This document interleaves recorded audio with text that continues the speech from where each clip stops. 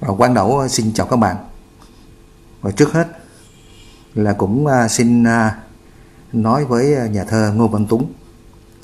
Khi đọc qua bài thơ rất có thể của nhà thơ, và Quang đầu cũng thấy có những cái điều mà nó là miên man trong cái dòng nhạc và sẵn đây mình cảm hứng mình sẽ hát qua cho anh Tuấn nghe và các bạn nghe à, hay hay dở gì đây là một cái sự ngẫu hứng. Mình ôm đàn mình sẽ hát liền thôi. À, à và xin mời à, anh Tuấn à, cùng các bạn đều nghe.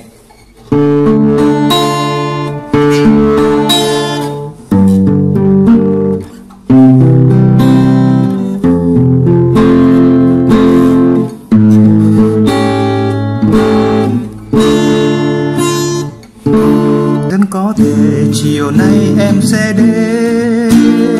Chim hắng ca, hoa lan nở thương bừng. Ta ngồi đời lòng vui theo giọt nắng. Mây bân cung và gió cứ ngầm dân có thể chiều nay em không đến mây bay xa và gió mãi vô tình.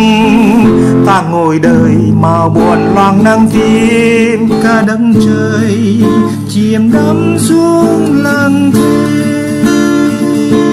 Em sẽ đến hoặc không bao giờ đến.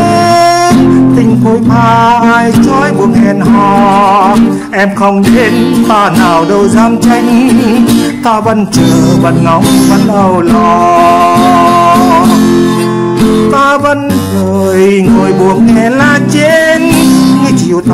Cơn mưa liêu chân mây nghe gió gọi trăm năm tình lưu làng, nghe giọt lòng tan vỡ bằng bụi cây. Thôi cứ thế đừng bao giờ em đến, để ta chờ trong say đắm cô đơn trong thầm đi ngân nga tình xa cách. Em đến rồi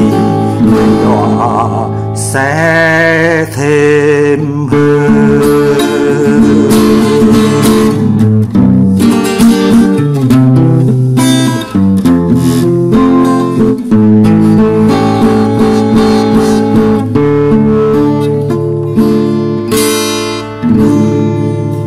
thôi cứ thế, đừng bao giờ em đến để ta chờ, ta say đắm cô đơn trong thắm thiết ngân nga tình xa cách. Em đến rồi đầy đỏ sẽ thêm hơn. Em đến rồi, đầy đỏ sẽ thêm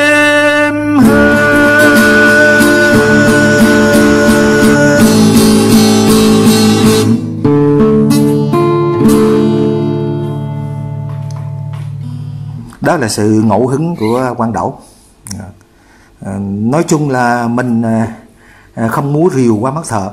À, nói chung là cũng ngứa mồm ngứa miệng à, và cũng ngứa tay.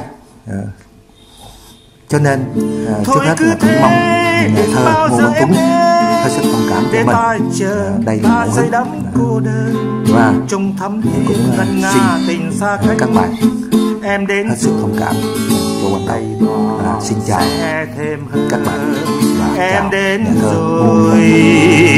Đầy đọa sẽ